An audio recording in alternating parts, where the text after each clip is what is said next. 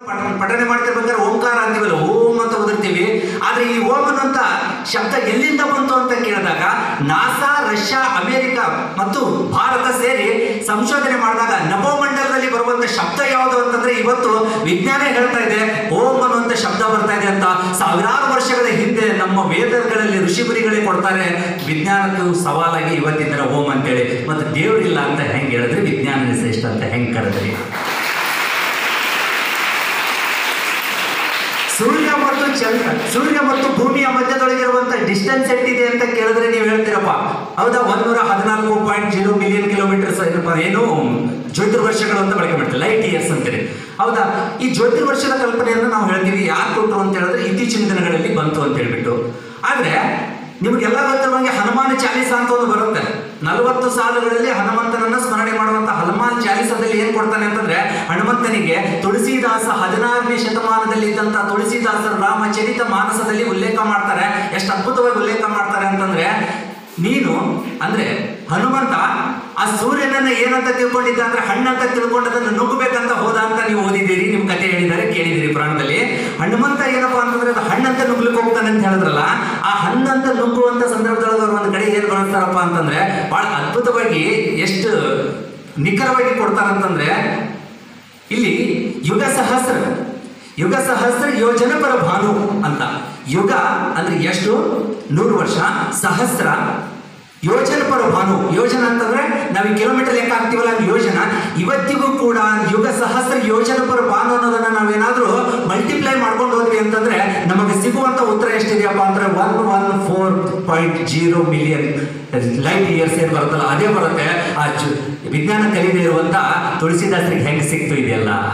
ಯಾಕಂತಂದ್ರೆ ನಮ್ಮವರು ಆಲ್ರೆಡಿ ಐತಿ, ಬಾಡಿ ಮುಂದಕ್ಕೆ ಹೋಗಲಾಗ್ಯದ ಯಾಕಪ್ಪ ಅಂದ್ರೆ ದರ ಬೇಂದ್ರೆ ಅವ್ರು ತಮ್ಮ ಕೈಯಲ್ಲಿ ಛತ್ರಿ ತಗೊಂಡೇನಪ್ಪ ಅಂದ್ರೆ ಅವ್ರ ಹೆಡಕಿನಾಗಿ ನಂಗಿಗೆ ಹಾಕಿ ಹಿಂಗ್ ಹಿಡಿದು ಜಗ್ಲಕತ್ತಾರ.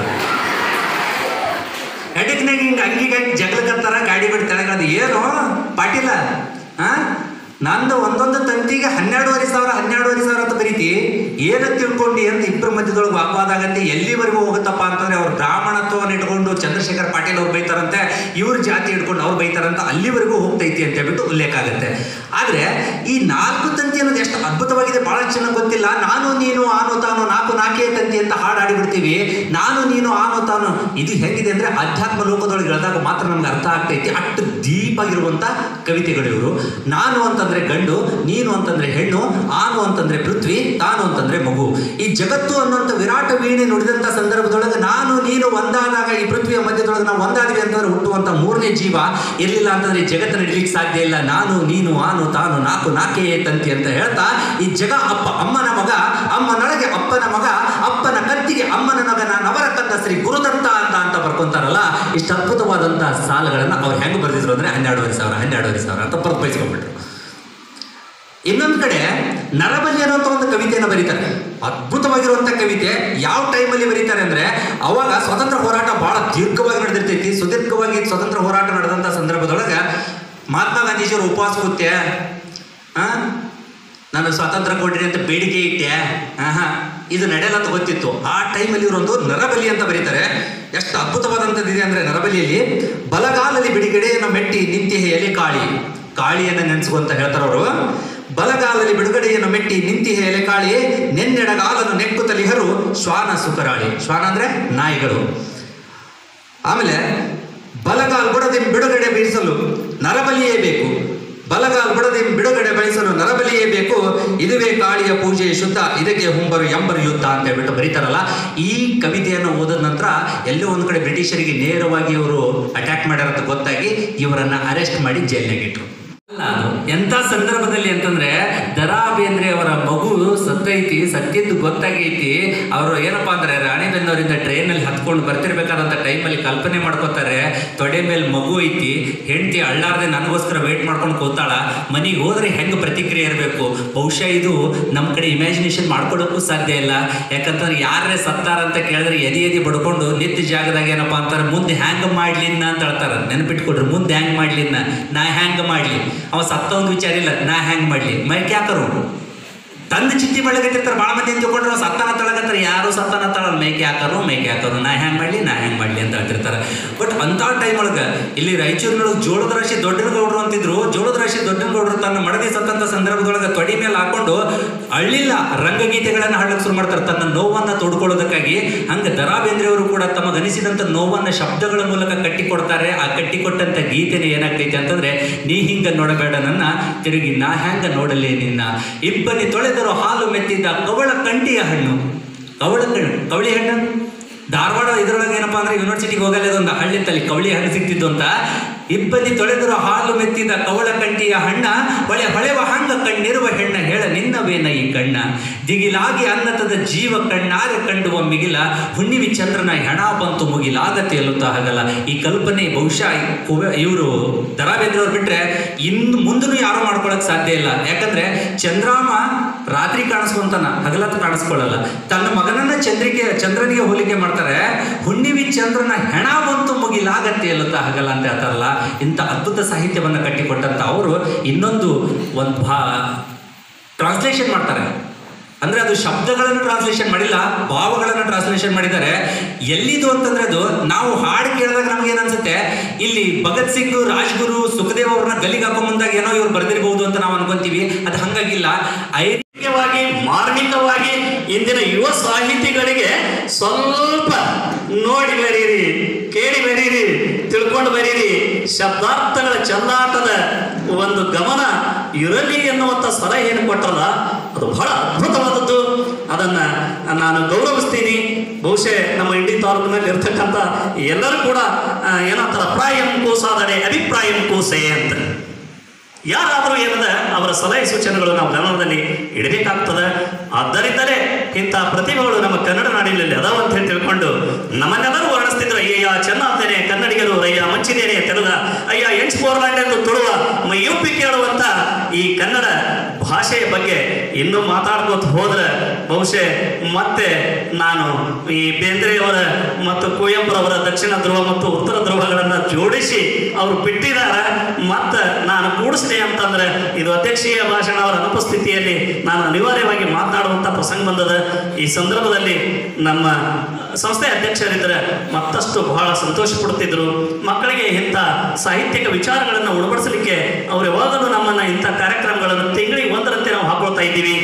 ಇನ್ನೊಂದು ಈ ವಿದ್ಯಾರ್ಥಿಗಳ ಮುಂದೆ ನಾನು ಈ ಕಾರ್ಯಕ್ರಮ ಅಧಿಕಾರಯುತವಾಗಿ ಯಾಕೆ ನಡೆಸ್ಕೊಂಡು ಹೊಂಟಿದ್ದೀವಿ ಅಂತಂದ್ರೆ, ಸರ್, ವಿದ್ಯೆ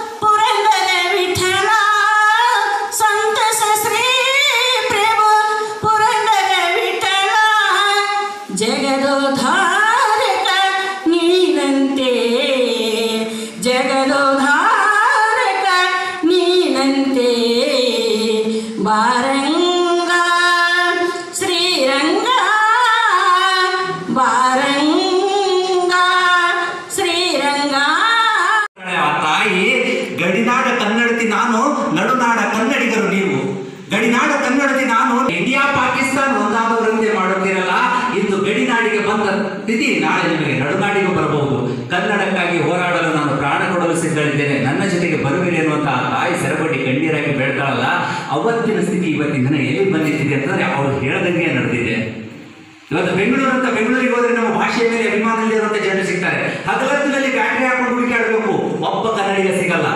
ಯಾಕಂತಂದ್ರೆ ಕನ್ನಡದ ಮೇಲೆ ಅಭಿಮಾನ ಇಲ್ಲ. ಅದಕ್ಕೆ ಬರೀತಾರೆ ಅಸದುಲ್ಲ ಬೇಗ ಎಷ್ಟು ಅದ್ಭುತವಾಗಿ ಬರೀತಾರೆ. ಬೆಂಗಳೂರು ಮಹಾನಗರ, ಅತ್ತ ಕಡೆ ರಾಜಾಜಿನಗರ ಇಂಥ ಕಡೆ ಶಿವಾಜಿನಗರ ಅತ್ತ ಕಡೆ ಎನ್ನಡ, ಇಂಥ ಕಡೆ ಎಕ್ಕಡ, ನಡುವೆ ಕನ್ನಡ ಗಡಗಡ. ಅತ್ತ ಕಡೆ ಎನ್ನಡ, ಇಂಥ ಕಡೆ ಎಕ್ಕಡ, ನಡುವೆ ಕನ್ನಡ ಗಡಗಡ. ಸುಮ್ಮನೆ ಯಾಕೆ ಕುಂತಿದೀಯೋ ಕೆಂಪೇಗೌಡ? ನಡುದಾರಿ ಸುಮ್ಮನೆ ಯಾಕೆ ನಿಂತಿದೆಯೋ ಕೆಂಪೇಗೌಡ? ಕೆಳಗಿಳಿದು ಬಂದು ಬರೀಬಾರ್ದಾಗ ಪ್ರತಿಯೊಬ್ಬನ ಎದಿ ಮೇಲ ಬರೀ ಕನ್ನಡ ಕನ್ನಡ ಕನ್ನಡ ಅಂತ ಬರೀತಾರಲ್ಲ. ಆ ಕೆಲಸ ಈಗಾಗಬೇಕಾಗಿತ್ತಲ್ಲ ಕುವೆಂಪು ಅವರು ಅವತ್ತೆ ಬರೀತಾರೆ, ಬಾರಿಸು ಕನ್ನಡ ಡಿಂಡಿಮವ ಓ ಕರ್ನಾಟಕ ಹೃದಯ ಶಿವ. ಸತ್ತಂತಿಹರನ್ನು ಬಡಿದೆಚ್ಚರಿಸು, ಕಚ್ಚಾಡಿ ಬರುವವರನ್ನು ಕೂಡಿಸು ಹರಿಸು ಹೊಟ್ಟೆಯ ಕಿಚ್ಚಿಗೆ ಕಣ್ಣೀರು ಸುರಿಸು. ಒಟ್ಟಿಗೆ ಬಾಳುವ ದರದಲ್ಲಿ ಹರಸು ಅಂತೇಳಿ. ನಾವೆಲ್ಲರೂ ಕೂಡಿದ್ದೇವಪ್ಪ ಅಂತಂದ್ರೆ ಯಾವ ಮಹಾರಾಷ್ಟ್ರ ಈ ಕಡೆ ಕಣ್ಣೆ ಅಂತ ನೋಡಕ್ಕಾಗಲ್ಲ. ಇವತ್ತು ಅವ್ರು ಕೇಳ್ತಾ ಇದಾರೆ ಬೆಳಗಾವಿ ಕೇಳ್ತಾರೆ. ಅವತ್ತು ಬಿಟ್ಟು ಕೊಟ್ವಿ ಯಾವ್ದನ್ನ? ಕಾಸರಗೋಡನ್ನ. ಇವತ್ತು ಬಿಟ್ಟು ಕೊಡು ಅಂತಿದ್ದಾರೆ ಬೆಳಗಾವಿಯನ್ನ. ಅಗ್ದಿ ಹೆಂಗಂತಂದ್ರೆ ಅಕ್ಕಿ ಮನೆಗೆ ಬಂದು ಅಡ್ಯಾಕ್ ಕೇಳ್ದಂಗೆ ಕೇಳಕ್ ಕೊಡ್ರಿ ನಮಗೆ ಕೊಡ್ರಿ ಯಾಕಂತಂದ್ರೆ ನಾವು ನಮ್ಮ ಭಾಷೆಗೆ ಸೀಮಿತವಾಗದೆ. ಬೇರೊಬ್ಬ ಭಾಷೆಯವರನ್ನು ಪ್ರೀತಿಸ್ತೀವಲ್ಲ, ಆ ಪ್ರೀತಿಸುವಂತ ಗುಣ ನಮಗಿದೆ ಹೊರತು ಅವರಿಗಿಲ್ಲ. ಅದಕ್ಕಾಗಿ ಮೊದಲು ನಮ್ಮ ಭಾಷೆಯನ್ನ ಪ್ರೀತಿಸೋದನ್ನ ಕಲೀರಿ ಅನ್ನೋದಕ್ಕಾಗಿನೇ ಅವರು ಅದ್ಭುತವಾಗಿರುವಂತ ಕವಿತೆಯನ್ನ ಬರೀತಾ, ಕುವೆಂಪು ಅವರು ಇನ್ನೊಂದು ಕಡೆ ಎಷ್ಟು ಅದ್ಭುತವಾಗಿ ಹೇಳಿದ್ರು ಅಂತಂದ್ರೆ ಬರಿತಿದ್ರು. ಆ್ಯಕ್ಚುಲಿ ಅದನ್ನ ನಾನು ಹಿಂಗೆ ಹೇಳಿದ್ರೆ ನಿಮ್ಗೆ ಅರ್ಥ ಆಗಲ್ಲ. ಎರಡು ಸಾಲ ಹಾಡಿದ್ರೆ ನಿಮ್ಗೆ ಗೊತ್ತಾಗ್ತೈತಿ. ಎಷ್ಟು ಅದ್ಭುತವಾಗಿತ್ತಂದ್ರೆ, ನಾ ಸಂತಿಗೆ ಬಂದಿನ್ನಿ ಆಕಿ ತಂದಿದ್ದಳು ಬೆಣ್ಣಿ. ನಾ ಸಂತಿಗೆ ಹೋಗಿನ್ನಿ ಆಕಿ ತಂದಿದ್ದಳು ಬೆಣ್ಣಿ. ಹಿಂಡ ಮಂದಿಯಾಗ ಅವಳೇ ಒಂದು ಸವಿ ಸಕ್ಕರಿ ಕಣ್ಣಿ. ಹಿಂಡ ಮಂದಿಯಾಗ ಅವಳೇ ಒಂದು ಸವಿ ಸಕ್ಕರಿ ಕಣ್ಣಿ. ನಾ ಸಂತಿಗೆ ಹೋಗಿನ್ನಿ ಆಕೆ ತಂದಿದ್ದಳು ಬೆಣ್ಣಿ. ತನಿ ತಿರುವಿದ ಟೋಪಿನ ಸೀರಿ, ಅದರಂಚಿಗೆ ರೇಷಿಮಿ ಭಾರಿ. ತನಿ ತಿರುವಿದ ಟೋಪಿನ ಸೀರಿ, ಅದರಂಚಿಗೆ ರೇಷಿಮಿ ಭಾರಿ. ಬಿಸಿಲ ಬಿದ್ದ ಕಡೆ ಬಂಗಾರದ ಕೈ ಮೈಯಲ್ಲಿ ಕುಪ್ಪ ಸಹೋಜರ ತಾರಿ. ನಾ ಸಂತಿಗೆ ಹೋಗಿನ್ನಿ, ಆಕೆ ತಂದಿದ್ದಳು ಬೆಣ್ಣಿ, ಆಕೆ ತಂದಿದ್ದಳು ಬೆಣ್ಣಿ. ಇಷ್ಟು ಅದ್ಭುತವಾಗಿರುವಂಥದ್ದು ಬೆಡಗೇರಿ ಕೃಷ್ಣ ಶರ್ಮ ಅವರ ಸಾಹಿತ್ಯ, ಜನಪದದಲ್ಲಿ. ಇಂಥ ಹಾಡುಗಳು ದರಾ ಬೇಂದ್ರೆಯವರಿಗೆ ಇಷ್ಟ ಆಗ್ತೈತಿ ಅಂದ್ರೆ ದರಾ ಬೇಂದ್ರೆಯವರು ಬರೆದಿರುವಂಥ ಸಾಹಿತ್ಯ ಹೆಂಗಿರಬೇಕು ಅಂತಂದ್ರೆ ನೀವು ಕೇಳಿದಿರಿ, ಅವ್ರು ಬರೆದಿರುವಂಥ ಸಾಹಿತ್ಯಗಳು ಒಂದು ಪೂರಾ ಆಳಕ್ಕೆ ಹೋಯ್ತಾವು ಇಲ್ಲಿಲ್ಲಪ್ಪ ಅಂದ್ರೆ ಪೂರಾ ಮ್ಯಾಗ ಹೋಯ್ತಾವು ಅಂದ್ರೆ ಪೂರ್ವ ಮ್ಯಾಗ ಹೋಯ್ತಂದ್ರೆ ಮ್ಯಾಗ ಹೋಗೋದಲ್ಲ? ಕಲ್ಪನಾ ಲೋಕದಲ್ಲಿ ತೇಲ್ಕೊಂಡು ಹೋಗ್ಬೇಕು ಆ ಮಟ್ಟದಾಗಿರ್ತಾವು. ಒಂದು ಹಾಡು ಬರೀತಾರ. ಅದು ಪಿಕ್ಚರ್ನಾಗೂ ಬಳಕೆ ಮಾಡ್ಯಾರ, ಆದ್ರೆ ಕಟ್ ಮಾಡಿ ಏನೇನೋ ಮಾಡಿ ಪಾಲಿಶ್ ಹಿಡಿಸ್ಯಾರ ಒಂದು ಹಾಡು ಯಾವ್ದಪ್ಪ ಅಂತಂದ್ರೆ, ಇನ್ನು ಯಾಕೆ ಬರ್ಲಿಲ್ಲವ ಹುಬ್ಬಳ್ಳಿಯವ ವಾರದಾಗ ಮೂರು ಸರ್ತಿ ಬಂದು ಹೋಗವ ಅಂತೇಳಿ. ನಾವೆಲ್ಲ ಈ ಹಾಡು ಕೇಳಿದೀವಿ, ಆದ್ರೆ ಹಾಡಿನ ಸನ್ನಿವೇಶ ಭಾಳ ಮಂದಿ ಗೊತ್ತಿಲ್ಲ. ಇವರು ಹಾಡನ್ನು ಬರೀತಾರೆ. ಈ ಹಾಡು ಯಾವುದಕ್ಕೆ ಸಂಬಂಧಿಸಿದಂತಂದ್ರೆ, ಒಬ್ಬ ವೇಶ್ಯೆ. ಒಬ್ಬ ವೇಷೆ ತನ್ನ ಮೈ ಮಾರಿಕೊಂಡು ಜೀವನ ಮಾಡ್ತಿರ್ತಾಳೆ, ಆದ್ರೆ ಮನಸ್ಸು ಒಬ್ಬನ ಮೇಲೆ ಇಟ್ಟಿರ್ತಾಳೆ ಅಂತ. ಎಷ್ಟು ಅದ್ಭುತ ಕಲ್ಪನೆ ಗೊತ್ತಾ? ಇಲ್ಲಿ ಎರಡನ್ನೂ ವಿಭಾಗಿಸ್ತಾರೆ. ಮೈ ಮಾರಿಕೊಳ್ಳುವಂತವಳು ಜೀವನ ನಡೆಯಲಾಗೈತೆ ಅಂತ ತನ್ನ ಮೈಯನ್ನ ಮಾರ್ಕೊಂಡಿದ್ದಾಳೆ ಹೊರತು ಅವಳು ಮನಸ್ಸನ್ನ ಮಾರ್ಕೊಂಡಿರಲ್ಲ. ಬಹಳ ಸೂಕ್ಷ್ಮವಾಗಿ ನಾವು ಅಬ್ಸರ್ವ್ ಮಾಡ್ಬೇಕು. ನಿಮಗೆ ಅದು ಅರ್ಥ ಇನ್ನೊಂದು ಪಕ್ಷದ ಶಾಸಕರು ಇರ್ಬೋದು ಅಥವಾ ಇವರೇ ಇರ್ಬೋದು, ಮತ್ತೊಬ್ರು ಇರ್ಬೋದು. ಪ್ರಶ್ನೆ ಈ ಪಕ್ಷ ಅಲ್ಲ. ಯಾವ ಪಕ್ಷ ಬಂದರೂ ಕೂಡ ರೈತರಿಗೆ ಏನು ಪರಿಸ್ಥಿತಿ ಬರ್ತೈತೆ ಅನ್ನೋದನ್ನ ಇಟ್ಕೊಂಡು ಎಷ್ಟು ಅದ್ಭುತವಾಗಿ ಬರೀತಾರೆ ಅವರು ಅಂದ್ರೆ ಕರಿಯರದು ಬಿಳಿಯರದು ಯಾರದಾದರೆ? ಕರಿಯರದು ಬಿಳಿಯರದು ಯಾರದಾದರೆ? ಸಾಮ್ರಾಜ್ಯವಾವುಗಂ ಸುರಿಗೆ ರೈತರಿಗೆ. ವಿಜಯನಗರವು ಮೊಘಲರ ಆಳ್ವಿಕೆಯೋ ಬ್ರಿಟಿಷರು. ವಿಜಯ ವಿಜಯನಗರವು ಮೊಘಲರ ಆಳ್ವಿಕೆಯೋ ಬ್ರಿಟಿಷರು, ಎಲ್ಲರೂ ಜಿಗಣೆಗಳೇ ನಿನ್ನ ನೆತ್ತರಿಗೆ. ಕತ್ತಿ ಪರದೇಶಿಯದಾದರೆ ಮಾತ್ರ ನೋವೆ. ಕತ್ತಿ ಪರದೇಶಿಯರಾದರೆ ಮಾತ್ರ ನೋವೇ, ಎಮ್ಮವರು ಹದ ಹಾಕಿ ತಿವಿದರದು ಹೂವೆ ಅಂತ ಪ್ರಶ್ನೆ ಮಾಡ್ತಾರೆ. ವಿದೇಶಿಯರು ನಮ್ಮನ್ನು ಶೋಷಣೆ ಮಾಡಿದ್ರಪ್ಪ ಅಂದ್ರೆ ಅದು ನಮಗೆ ಸಂಕಟ ಆಗ್ತೈತಿ, ಕಷ್ಟ ಆಗ್ತೈತಿ, ಸ್ವತಂತ್ರ ಬೇಕಂತೀವಲ್ಲ? ನಮ್ಮವರೇ ನಮ್ಮನ್ನು ತುಳಿಲಿಕ್ಕತ್ರು, ನಮ್ಮವರೇ ನಮ್ಮನ್ನು ಸಾಯಿಸಾಕತ್ರ ಅಂದ್ರೆ ಅದನ್ನು ನೀವು ಪ್ರೀತಿಯಿಂದ ಎಕ್ಸೆಪ್ಟ್ ಮಾಡ್ಕೋತೀರೇನೋ ಅಂತ ಪ್ರಶ್ನೆ ಮಾಡ್ತಾರಲ್ಲ, ಇವತ್ತಿನ ದಿನ ನಮಗೆ ಎಂಥ ಕವಿತೆಗಳು ಬೇಕಾಗಿತ್ತು ಅಂತಂದ್ರೆ, ಇವರು ಕೊಡುವಂಥ ಕವಿತೆಗಳು ಬೇಕು, ಇವರು ಹಾಕಿಕೊಟ್ಟಂಥ ಜೀವನ ಮಾರ್ಗ ಬೇಕು. ಕನ್ನಡದ ಬಗ್ಗೆ ಅದ್ಭುತವಾಗಿ ಬರೀತಾರೆ, ಬರೀತಾ ಹೇಳ್ತಾರೆ. ಹೇಳಿದ್ರು, ಮಹಾರಾಷ್ಟ್ರ ಮತ್ತು ಕರ್ನಾಟಕದ ಮಧ್ಯದೊಳಗೆ ಏನು ನಡೆದಿದೆ ಇವತ್ತಿನ ದಿನ? ಅಂತಂದ್ರೆ ಗಡಿ ವಿವಾದ ನಡೆದೈತಿ ಅಂತೇಳಿ. ಭಾಷಾಭಿಮಾನ ಇರಲ್ಲ, ಅಲ್ಲಿ ದೇಶಾಭಿಮಾನ ಇರಲ್ಲ. ಭಾಷಾಭಿಮಾನ, ದೇಶಾಭಿಮಾನ ಎರಡೂ ಇರಲಿಲ್ಲ ಅಂತಂದ್ರೆ ವ್ಯಕ್ತಿ ಬದುಕಿರೋದ್ರಲ್ಲಿ ಅರ್ಥನೇ ಇಲ್ಲ. ಅದಕ್ಕೆ ಒಂದು ಕಡೆ ಬರೀತಾರೆ, ಎಷ್ಟು ಅದ್ಭುತವಾಗಿ ಬರೀತಾರೆ ಅಂತಂದ್ರೆ, ಆಸ್ತಿಯ ಮೇಲಿಟ್ಟಿರುವ ಮೋಹ ಮಾಸ್ತಿಯ ಮೇಲಿಟ್ಟಿದ್ದಾರೆ. ಪ್ರಾಪಂಚಿಕ ಸುಖಗಳ ಮೇಲಿಟ್ಟಿರುವ ಮೋಹ ಪಂಪನ ಮೇಲಿಟ್ಟಿದ್ದಾರೆ. ಹೊನ್ನಿನ ಮೇಲಿಟ್ಟಿರುವ ಮೋಹ ಜನ್ನನ ಮೇಲಿಟ್ಟಿದ್ದಾರೆ. ಮತ್ತು ರತ್ನಗಳ ಮೇಲಿಟ್ಟಿರುವ ಮೋಹ ರತ್ನಾಕರನ ಮೇಲಿಟ್ಟಿದ್ದಾರೆ, ಕೇಶರಾಶಿಯ ಮೇಲಿಟ್ಟಿರುವ ಮೋಹ ಕೇಶರಾಶಿನ ಮೇಲಿಟ್ಟಿದ್ದರೆ, ಎನ್ನ ಕನ್ನಡಿಯ ಮೇಲಿಟ್ಟಿರುವ ಮೋಹ ಎನ್ನ ಕನ್ನಡದ ಮೇಲಿಟ್ಟಿದ್ದರೆ ಕನ್ನಡ ಬಂಗಾರ ಆಗ್ತಿತ್ತು ಅಂತ ಬರೀತಾರಲ್ಲ ಇದು ನಮಗೆ ಆ ಭಾಷೆ ಅಭಿಮಾನ ಇಲ್ಲ. ಅದಕ್ಕಾಗಿ ನಮ್ಮನ್ನು ಏನ್ ಮಾಡ್ತಿದ್ದಾರೆ ಅಂತಂದ್ರೆ ಗಡಿನಾಡಿನವರು ನಡುನಾಡಿನವರು ಆ ನಾಡಿನವರು, ಈ ನಾಡಿನವರು. ಆ ಕಡೆ ಹೋದ್ರೆ ಬೆಂಗಳೂರಿನವರು, ಕಾವೇರಿ ವಿವಾದಕ್ಕ ನಮ್ಗೆ ಸಂಬಂಧ ಇಲ್ಲ ಅಂತ ನಾವು ಸುಮ್ಕೊಂಡಿರ್ತೀವಿ ಯಾಕಂದ್ರೆ ನಾವು ನಡುನಾಡ ಕನ್ನಡಿಗರು, ಈ ಕಡೆ ಏನಪ್ಪಾ ನೀವೆಲ್ಲ ಗಡಿನಾಡ ಕನ್ನಡಿಗರು. ಅದಕ್ಕೆ ಜಯದೇವಿ ಯಾರಾಗಿದ್ರು ವ್ಯಕ್ತಿಗಳು ಯಾರಾಗಿದ್ರು ಅಂತಂದ್ರೆ ರೈತರ ಕುರಿತಾಗಿ ಬಹಳ ಕಾಳಜಿ ಉಳ್ಳಂತ ವ್ಯಕ್ತಿ. ಆ ರೈತರ ಕುರಿತಾಗಿ ಕಾಳಜಿ ಉಳ್ಳಂತ ಕುವೆಂಪು ಅವರೇ ಬರೆದಿರುವಂತ ಗೀತೆನ ನಾವು ರೈತ ಗೀತೆಯಾಗಿ ಇವತ್ತಿನ ಹಾಡ್ತೀವಿ. ಯಾವುದು? ಉಳುವ ಯೋಗಿ ಅನ್ನುವಂಥದ್ದು. ಎಷ್ಟು ಅದ್ಭುತವಾದಂಥ ಗೀತೆ ಇದೆ ಗೊತ್ತಾ? ಉಳುವ ಯೋಗಿಯ ನೋಡಲ್ಲಿ ಅಂತ ಹೇಳ್ಬಿಟ್ಟು ನೀವು ಕೊನೆಗೆ ಹೇಳ್ತಿರ್ತೀರಲ್ಲ, ಆ ಉಳುವ ಯೋಗಿ ಒಬ್ಬ ರೈತನನ್ನ ಯೋಗಿಗೆ ಹೋಲಿಸ್ತಾರೆ. ಕರ್ಮಯೋಗಿ. ಕಾಯಕ ಯೋಗಿ ಯಾರು ಅಂತಂದ್ರೆ ರೈತ. ರೈತ ಇರಲಿಲ್ಲ ಅಂತಂದ್ರೆ ಇವತ್ತು ನಾವು ಬದುಕಲಿಕ್ಕೆ ಸಾಧ್ಯ ಇಲ್ಲ ಅನ್ನೋದನ್ನ ಅವರು ಎಷ್ಟು ಅದ್ಭುತವಾಗಿ ಕಟ್ಕೊಡ್ತಾರೆ ಅಂತಂದ್ರೆ, ಯಾರೂ ಅರಿಯದ ನೇಗಿಲ ಯೋಗಿಯು ಲೋಕಕ್ಕೆ ಅನ್ನವನ್ನು ನೀಡುವನು. ನೀವು ತಿನ್ನುವಂತ ಅನ್ನ ಒಂದ್ ಕಡೆ ಮಂಕುತಿಮ್ಮನ ಕಂಗದಲ್ಲಿ ಅವರು ಬಳಕೆ ಮಾಡ್ತಾರೆ, ಡಿ ಬಿ ಸಿ ಅವರು ಕೇಳ್ತಾರೆ, ಅಕ್ಕಿಯೊಳಗೆ ಅನ್ನವನ್ನು ಮೊದಲಾನು ಕಂಡವರು, ಅಕ್ಕರದ ಬರಹಕ್ಕೆ ಮೊದಲಿಗದ ನಾರು. ಲೆಕ್ಕ ವಿರಿಸಿಲ್ಲ ಜಗತ್ತನ್ನಾಗಿ ಬಂಧುಗಳ ಅಂತ ಹೇಳ್ಬಿಟ್ಟು ಅಕ್ಕಿಯಲ್ಲಿ ಇಟ್ಕೊಂಡು ಪ್ರಶ್ನೆ ಮಾಡ್ತಾರೆ. ಅಕ್ಕಿ ಏನೋ ಇದೆ ನಿಮ್ಮ ಮನೆಯೊಳಗ? ಅಕ್ಕಿ ಒಳಗೆ ಅನ್ನ ಐತೆ ಅಂತ ನಿಮ್ಗೆ ಏನಾದ್ರು ಗೊತ್ತಿತ್ತನು? ಯಾರು ಹೇಳ್ಯಾರನು ಗೊತ್ತಿಲ್ಲ. ಯಾರಂತ ಗೊತ್ತೇ ಇಲ್ಲ. ಅಕ್ಕರದ ಬರಹಕ್ಕೆ ಮೊದಲಿಗದ ನಾನು. ಅಕ್ಕರೆಯಿಂದ ಅಕ್ಷರಗಳನ್ನು ಬರೆದಿರುವಂಥದ್ದಕ್ಕೆ ಮೊದಲ ಅಕ್ಷರಗಳನ್ನು ಬರೆದವನು ಯಾರು? ಯಾರಿಗೂ ಗೊತ್ತಿಲ್ಲ. ಲೆಕ್ಕ ಲೆಕ್ಕವಿರಿಸಿಲ್ಲ ಜಗತ್ತ ನಾದಿ ಬಂಧುಗಳ. ಜಗತ್ತು ಲೆಕ್ಕನೇ ಇರಿಸಿಲ್ಲ ಜಗತ್ತಿಗೆ ಬಂದು ಹೋದವ್ರು ಲೆಕ್ಕ ಯಾರು ಇಟ್ಟಾರ? ಯಾರು ಇಟ್ಟಿಲ್ಲ. ದಪ್ಪೂದಿ ನನಗೆ ಮಂಕುತಿಮ್ಮ ಇದ್ರ ಮಧ್ಯದೊಳಗೆ ನಾ ಶ್ರೇಷ್ಠ, ನನಗೆ ಎಸ್ ಬೇಕು ಅಂತ ಹೊಡೆದಾಡ್ತಲ್ಲ ಸಿಗತೈತೇನೋ ಅಂತ ಪ್ರಶ್ನೆ ಮಾಡ್ತಾರಲ್ಲ ಹಂಗಿಲ್ಲೇನಪ್ಪ ಅಂದ್ರೆ ಯಾರೂ ಅರಿಯದ ನೇಗಿಲ ಯೋಗಿಯು ಲೇಖ ಲೋಕಕ್ಕೆ ಅನ್ನವನಿಯುವನು ಫಲವನ್ನು ಬಯಸದೆ ಅಧಿಸುಖ ಗಳಿಸದೆ ದುಡಿಯುವನು ಗೌರವ ಆಶಿಸದೆ ನೇಗಿಲ ಕುಳದೊಳು ಅಡಗಿದ ಧರ್ಮ, ನೇಗಿಲ ಮೇಲೆ ನಿಂತಿದೆ ಧರ್ಮ? ಏನು ಅದ್ಭುತವಾದಂಥ ಸಾಲ್ರಿ. ನೇಗಿಲ ಮೇಲೆ ನಮ್ಮ ಧರ್ಮ ನಿಂತೈತಿ. ಒಂದು ವೇಳೆ ರೈತ, ಇವತ್ತಿನ ದಿನ ನಾನು ದುಡಿಯಲ್ಲ ಅಂತ ಏನಾದರೂ ಕೈ ಕಟ್ಕೊಂಡು ಕೂತ ಅಂತಂದ್ರೆ ನಾವೆಲ್ಲರೂ ಬಾಯಿ ಪಡ್ಕೊಂಡು ನಿಂತಿರ್ಬೇಕಾಗ್ತೈತಿ ಯಾಕಂದ್ರೆ ಬದುಕಲಿಕ್ಕೆ ಸಾಧ್ಯ ಇಲ್ಲ. ಅದಕ್ಕೆ ಈ ಜಗತ್ತಿನೊಳಗೆ ನಿಜವಾದಂತಹ ಶ್ರೇಷ್ಠವಾದಂತಹ ಕಾಯಕ ಯಾವ್ದಾದ್ರು ಇದ್ರೆ, ಅದು ಒಬ್ಬ ಕೃಷಿ ಕಾಯಕ, ಒಬ್ಬ ರೈತ, ಅವನೇ ನಿಜವಾದ ದೇವರು ಅನ್ನೋದನ್ನ ಅವರು ತಮ್ಮ ಕವಿತೆಯಲ್ಲಿ ಕೊಡ್ತಾರಲ್ಲ, ಅದಕ್ಕೆ ನಾವು ಅವರಿಗೆ ಏನಾಗ್ತಿಲ್ಲ ಅಂದ್ರೆ ಬದುಕು ಕಲಿಸಿದ ರಸಋಷಿ ಅಂತ ಕರಿತೀವಿ, ಬದುಕು ಕಲಿಸಿದ ರಸಋಷಿ ಅಂತೇಳಿ. ಇಷ್ಟು ಅದ್ಭುತವಾಗಿ ಹೇಳಿದಂತವ್ರು ಹೇಳ್ತಾರೆ, ಇವತ್ತು ಶಾಸಕರು ಬಂದ ಜ್ಞಾನ ಬಹಳ ಅಪಾರ ಆಗಿದ್ದು ಅದಕ್ಕಾಗಿ ಆ ನಾಡಲ್ಲಿ ನೀವಿದ್ದೀರಿ ಅಂತ ಜ್ಞಾನಿಗಳೆದ್ರಿಗೆ ಮಾತಾಡಕತ್ತೀನಿ ಅಂತ ಅಭಿಮಾನದಿಂದ ನಾನು ನಿಮ್ಮ ಎದುರಿಗೆ ಇವರಿಬ್ಬರನ್ನ ತಗೊಂಬರಕ್ಕೆ ವಿಚಾರ ಮಾಡ್ತಾ ಇದ್ದೇನೆ. ಇಲ್ಲಿ ಎರಡಿದೆ. ಕುವೆಂಪು ಮತ್ತು ಬೇಂದ್ರೆ. ಇಬ್ಬರಲ್ಲಿ ವ್ಯತ್ಯಾಸ ಏನು ಅಂತಂದ್ರೆ, ಕುವೆಂಪು ಅವರು ಜನರ ನೋವುಗಳನ್ನ ಕಣ್ಣಾರೆ ಕಂಡ ನಂತರ ಕವಿಯಾಗಿ ಬರೆಯುತ್ತಾರೆ. ಜನರ ನೋವುಗಳಿಗೆ ಶಬ್ದಗಳ ರೂಪವನ್ನು ಕೊಡುವವರು ಕುವೆಂಪು. ಆದರೆ ಸ್ವತಃ ತಾನು ಅನುಭವಿಸಿದ ನೋವುಗಳೊಂದಿಗೆ ಬದುಕನ್ನು ಕಟ್ಟಿಕೊಟ್ಟ ಕವಿತೆಯನ್ನು ಬರೆದವರು ಯಾರಾಗ್ತಾರೆ ಅಂತಂದ್ರೆ ಬೇಂದ್ರೆ ಅವರಾಗ್ತಾರೆ. ಅದಕ್ಕೆ ಬೇಂದ್ರೆ ಹೇಳ್ತಾರೆ, ಬೆಂದರೆ ಮಾತ್ರ ಬೇಂದ್ರೆ. ಬೆಂದರೆ ಮಾತ್ರ ಬೇಂದ್ರೆ. ಯಾರ ಜೀವನದಲ್ಲಿ ಬೇಯ್ತಾರೋ, ಯಾರ ಜೀವನದಲ್ಲಿ ಕಷ್ಟ ಅನುಭವಿಸ್ತಾರೋ, ಅವರು ಬೇಂದ್ರೆ ಆಗ್ತಾರೆ. ಯಾರು ಬದುಕಿನಲ್ಲಿ ಇನ್ನೊಬ್ಬರ ಕಷ್ಟವನ್ನ ಕಂಡು ಮಿಡಿದು ಬರೆಯುತ್ತಾರೋ, ಅವರ ರಸ ಋಷಿಯಾಗುತ್ತಾರೆ ಅವರು ಕುವೆಂಪು ಆಗ್ತಾರೆ ಅಂತ ಹೇಳ್ಬಿಟ್ಟು ಇಲ್ಲಿ ಇಬ್ಬರನ್ನ ನಾವು ನೋಡ್ತೀವಿ. ಇಲ್ಲಿ ಕುವೆಂಪು ಅಂದ ತಕ್ಷಣ ನಮಗೆಲ್ಲ ಗೊತ್ತಿರೋ ಕುವೆಂಪು ಅವರ ಹಾಡುಗಳನ್ನ ನೀವು ಕೇಳಿದ್ರಿ ಯಾವ ಕುವೆಂಪು ಅವರ ಹಾಡು ಕೇಳಿದ್ರೆ ಇಷ್ಟ ತನಕ ನೀವೇ ನಿಂತು ಹಾಡ್ಲಿಕತ್ತಿದ್ರಿ. ಜೈ ಭಾರತ ಜನನಿಯ ತನ್ನ ಜಾತೆ, ಜಯ ಹೇ ಕರ್ನಾಟಕ ಮಾತೆ ಅಂತ. ಅದ್ಭುತವಾಗಿರುವಂಥ ನಾಡಗೀತೆಯನ್ನು ನಾವು ಹಾಡ್ತೀವಿ. ಹೌದಾ?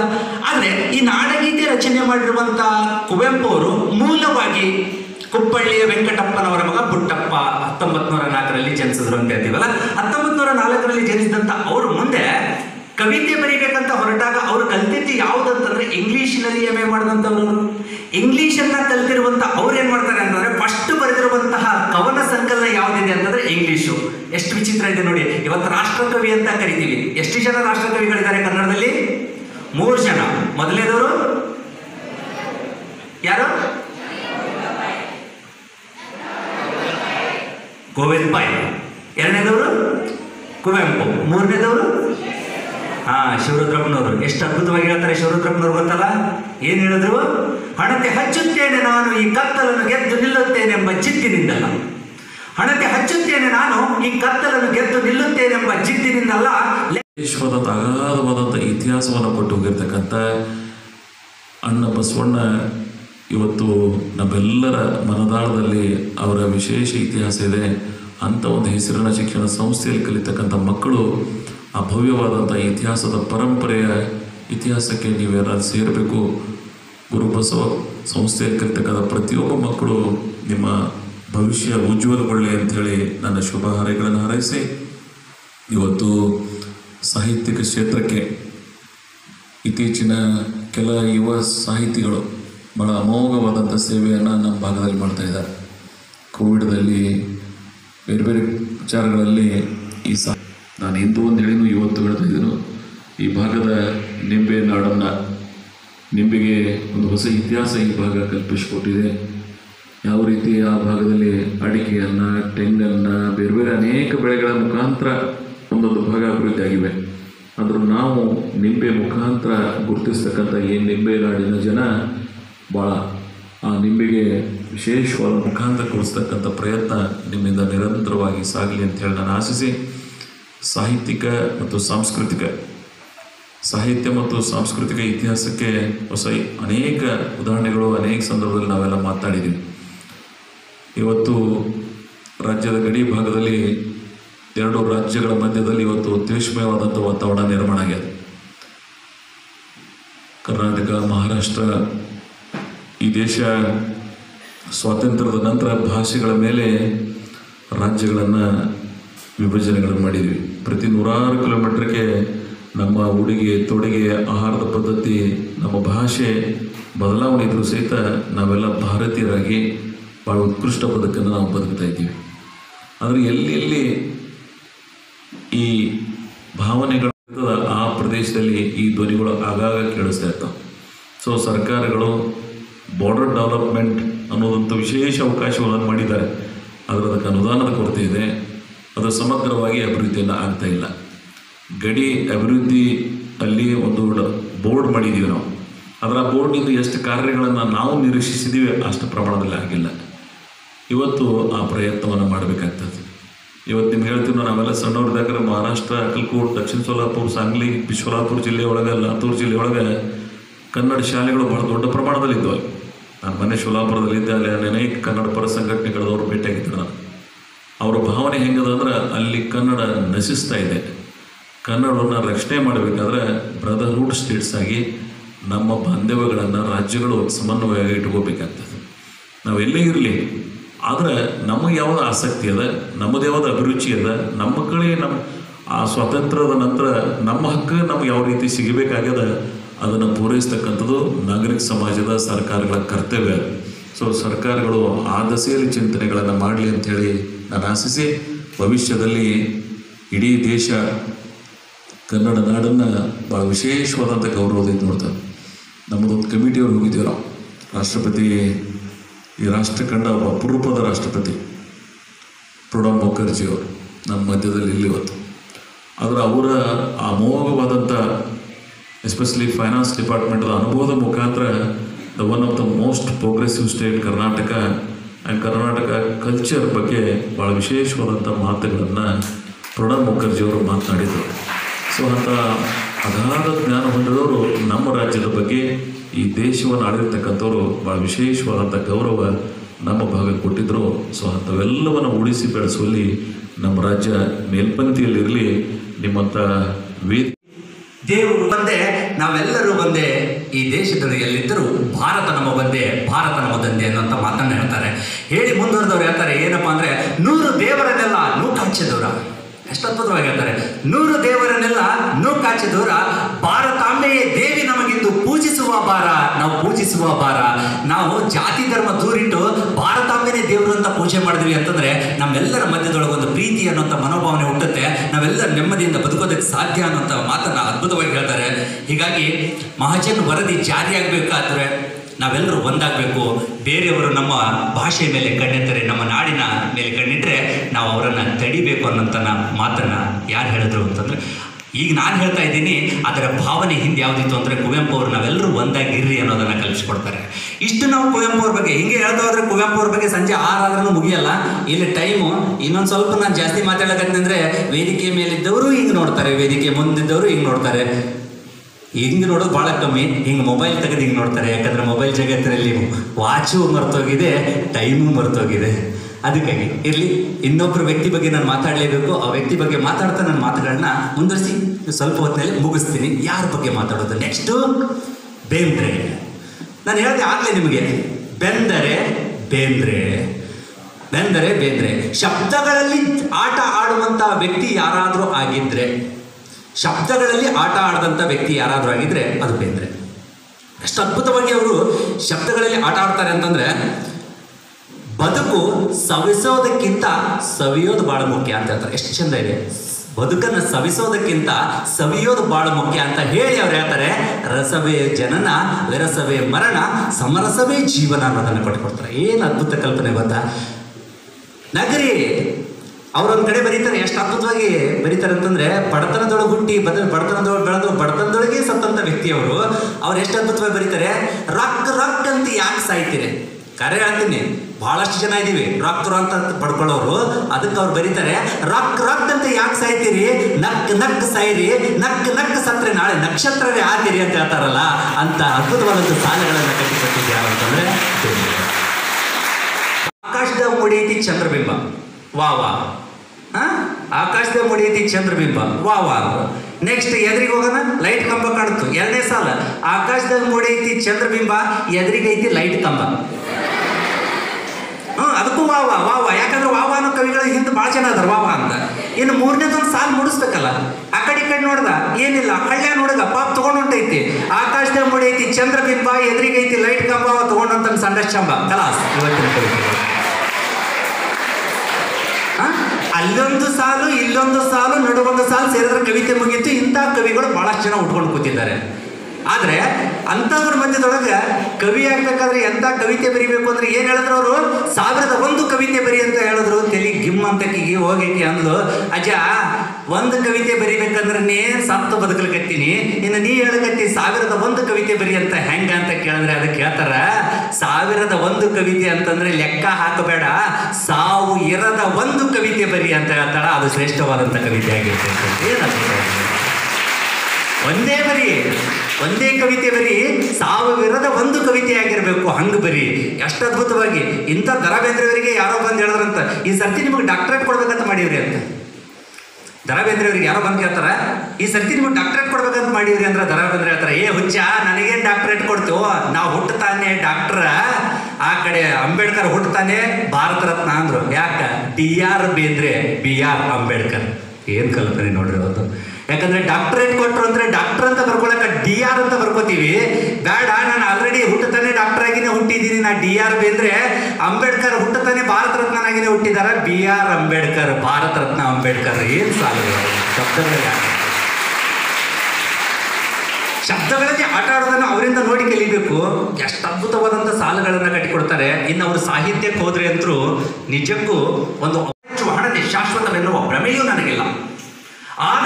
ಹಚ್ಚುತ್ತೇನೆ ನಾನು. ಆದರೂ ಹಣತೆ ಹಚ್ಚುತ್ತೇನೆ ನಾನು, ಮತ್ತೆ ಈ ಜಗತ್ತನ್ನು ಗೆಲ್ಲುತ್ತೇನೆಂಬ ಭ್ರಮೆಯಿಂದಲ್ಲ. ಇರುವಷ್ಟು ಸಮಯ, ಅಂದರೆ ಹಣತೆ ಬೆಳಗುವಷ್ಟು ಸಮಯ, ಆ ಹಣತೆಯ ಬೆಳಕಿನಲ್ಲಿ ನಿನ್ನ ಮುಖ, ನಾನು ನಮ್ಮ ಮುಖ ನೀವು ನೋಡಲೆಂದು ಹಣತೆ ಆರಿದ ಮೇಲೆ ನೀನ್ಯಾರು ನಾನ್ಯಾರು ನೀನ್ಯಾರು ನಾನ್ಯಾರು ಅಂತ ಎಷ್ಟು ಅದ್ಭುತವಾಗಿ ಬರೆದು ಕೊಡ್ತಾರಲ್ಲ ಇಂಥ ಮೂರು ಮೂರು ಚಂದ್ರ ರಾಷ್ಟ್ರಕವಿಗಳನ್ನು ಕೊಟ್ಟಿದ್ದಾರೆ. ಆದರೆ ಎರಡನೇ ರಾಷ್ಟ್ರಕವಿ ಅಂತ ಕರೆಸ್ಕೊಂಡಿರುವಂಥ ಬೇಂದ್ರೆಯವರ ಮೊದಲ ಸಂಕಲನ ಯಾವುದಾಗಿತ್ತು ಅಂದರೆ ಇಂಗ್ಲಿಷ್ ಭಾಷೆಯಲ್ಲಿ ಬರೆದಿದ್ರು ಇಂಗ್ಲಿಷ್ ಭಾಷೆಯಲ್ಲಿ ಕವಿತೆಗಳನ್ನು ಬರೆದು ಎಲ್ಲರಿಂದ ಅಪ್ರಿಷಿಯೇಟ್ ಸಿಕ್ತು ಅಪ್ರಿಷಿಯೇಷನ್ ಸಿಕ್ಕ ನಂತರ ಏನಾಯ್ತು? ಒಬ್ಬ ಐರಿಷ್ ಕವಿ ಹತ್ರ ತಗೊಂಡು ಹೋಗ್ತಾರೆ. ಒಬ್ಬರು ಐರಿಷ್ ಕವಿ. ಆ ಐರಿಷ್ ಕವಿ ಹತ್ರ ಇದು ಹೋದ ತಕ್ಷಣ ಏನಾಗುತ್ತೆ ಅಂದರೆ ಅವ್ರು ನೋಡ್ತಾರೆ